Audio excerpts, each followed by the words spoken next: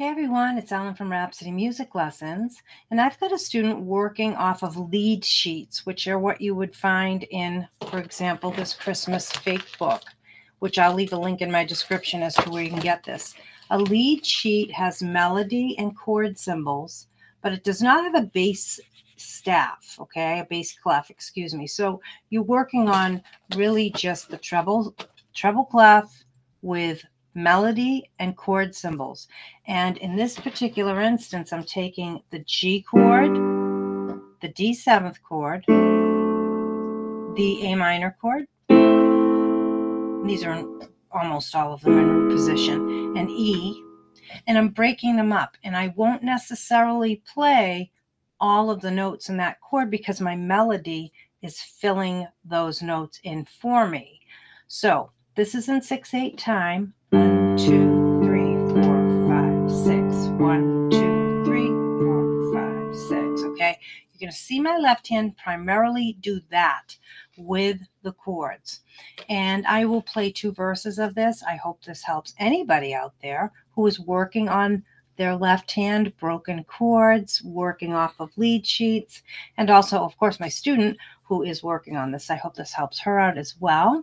And if you like my videos, please hit that like and subscribe. I'd really appreciate it. And here is the snow lay on the ground.